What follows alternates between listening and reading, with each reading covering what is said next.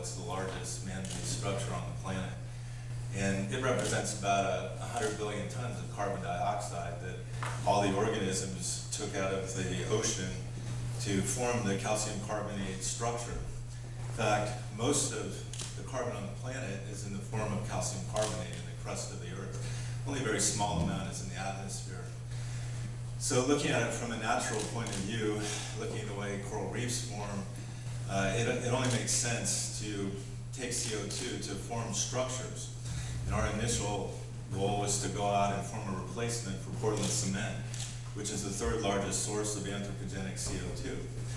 And already having medical cements in every operating room in the world that does orthopedic surgery that I invented in, earlier in my career, and having uh, over 70 patents on cement, it, it was a, a, very clear path for me to formulate a, a, cement to replace Portland cement that uh, could be used to eliminate all the CO2 footprint from Portland cement.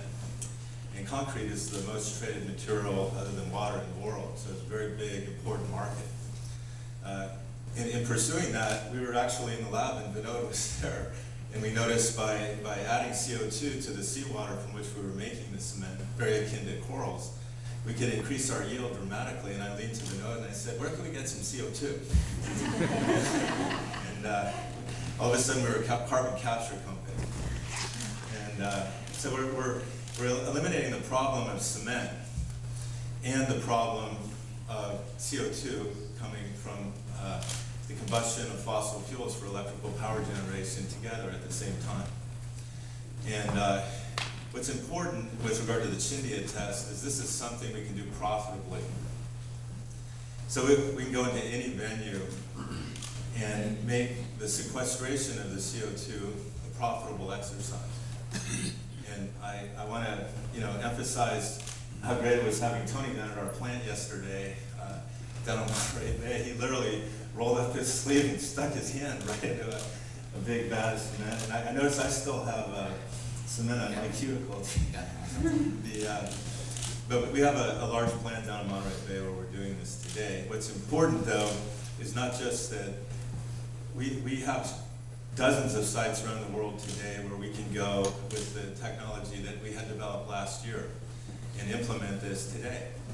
And there's already a natural infrastructure in place moving a material called fly ash from coal-fired power plants to what are called ready-mix plants, which is where concrete is distributed uh, every day, around the clock as we speak.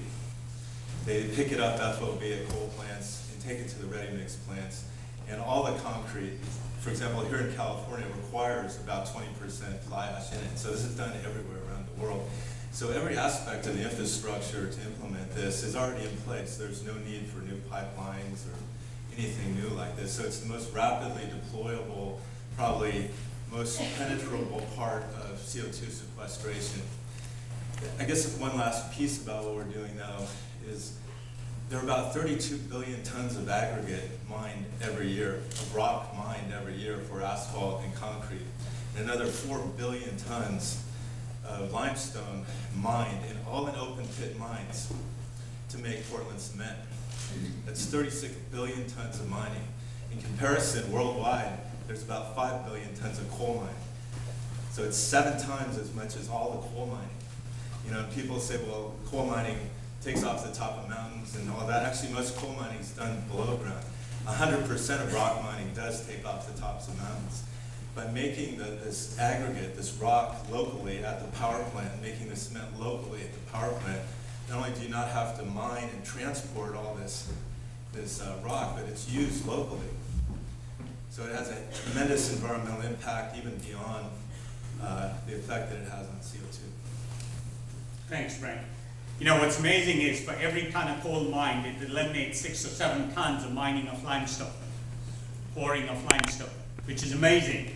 Not only that, Brent forgot to mention that not only does it capture the carbon dioxide, but the sulfur dioxide that causes acid rain, the mercury from coal plants, the cadmium, chromium, other emissions of heavy metals are all captured and permanently encased in these cement structures.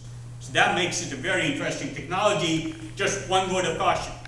Today, we can do it for many plants, enough to meet our business plan for many years, but we can't.